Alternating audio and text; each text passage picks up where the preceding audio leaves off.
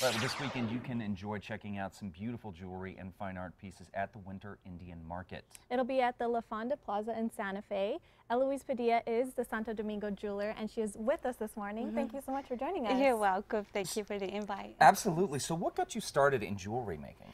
I grew up with my five brothers and sisters, working along with them. My parents were our teachers. They're both into artwork, so mm -hmm. they taught us what it is all about jewelry making in our traditional ways and stuff.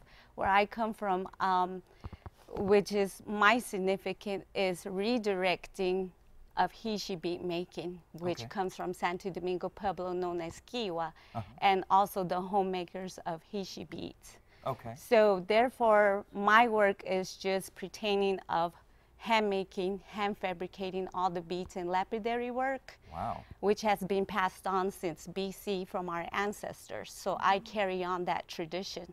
But also my work is all originals. Nothing Original. comes out the same.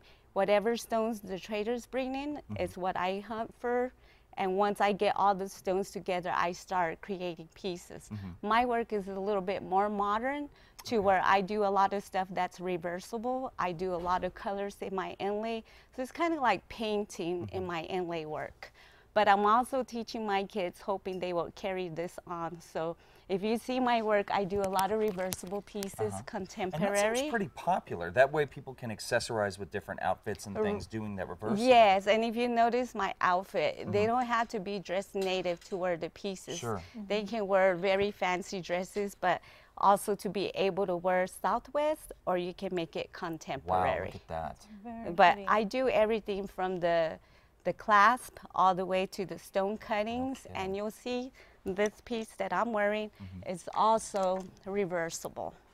And this wow. is and this is one of the pieces that took first place in Best of Show in California in San Diego. No oh, kidding. Yes, yes, thank you so much. That's great. So, so one thing that really strikes me and has always struck me about Native American artwork and jewelry is, is the significance and the meaning behind it. And right. I think the fact that you talk about that this is this is a pedagogical thing that you have learned from your ancestors. Yes. And you hope to pass on to your children. So when people buy a work of Native American art from an authentic Native artist, right. they're really buying more than a piece of art. Oh yes, when when they're buying the piece, they're not just taking home something that they're going to wear, but the goodness of things that's right. put into it. Because when I'm working, all I think it's about is designing mm -hmm. the goodness out of my heart and my soul.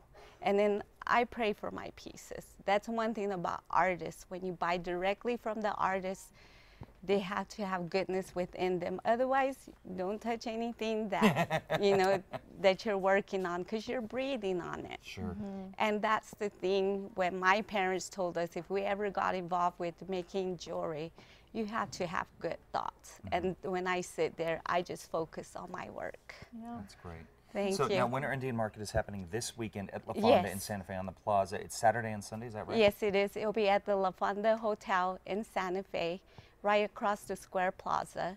And I hope everybody can come because there'll be new artists, old artists, young artists, and we're just so excited to do this show. It's something wonderful, and it brings a lot of good spirit, especially close to Christmas. Yeah, I would imagine it's yes. the perfect time, perfect season to get out and do it. Eh, yes. We really appreciate you bringing your arts, your crafts, and your story with us. You're well. welcome. fantastic. And Thank if you want you. more information on Winter Indian Market, again, happening this weekend at La Fonda in San Fe on the Plaza, just head over to foxnewmexico.com.